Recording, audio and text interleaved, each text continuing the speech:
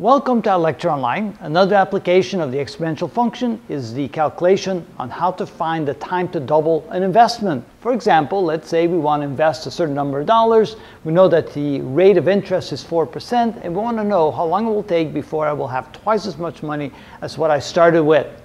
All right, we can use the compound equation or we can use the exponential equation. And so we're going to use both equations to try and find that result.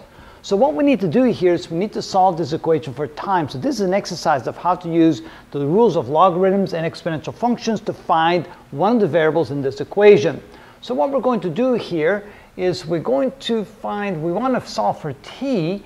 That means we're first going to divide both sides by a and then take the natural log of that, or we could take the log base ten, doesn't really matter, I like the natural log. So we want to isolate this exponent right here. So first of all, we'll write a divided by p is equal to the quantity 1 plus r over n raised to the nt power. Now when I take the natural log of both sides, so I have the natural log of a divided by p is equal to the natural log of the quantity 1 plus r over n to the nt power. Now we're allowed to take this exponent and write it in front, so now we have the natural log of a divided by p is equal to n times t times the natural log of 1 plus r over n.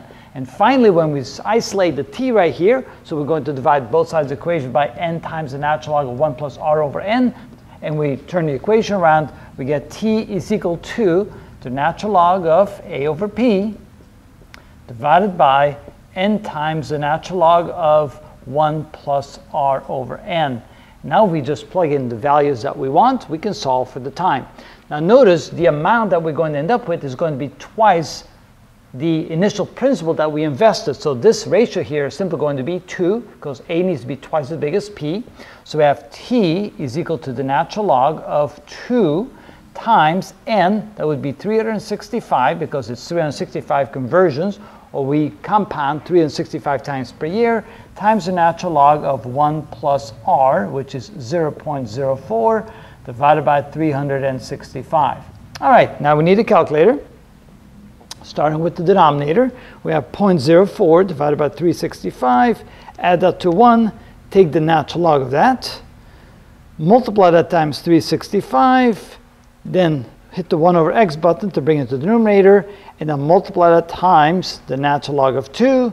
So this is equal to, that will be in years, 17.33 years. So at 4% interest compounded daily will take 17.33 years to double your investment. Now we're going to take the exponential function and do the same thing. We're going to solve for t, knowing that the rate is 4%. So again, we divide both sides by p. We get a divided by p is equal to e to the r times t. Take the natural log of both sides. So we get the natural log of a divided by p is equal to the natural log of e to the rt. Of course, the natural log negates the exponent, so that will give us simply rt on the right side, so the natural log of a over p is equal to r times t, divide both sides by t, uh, by the rate, and turn the equation around, we get t is equal to the natural log of a divided by p, and divide the whole thing by the rate r.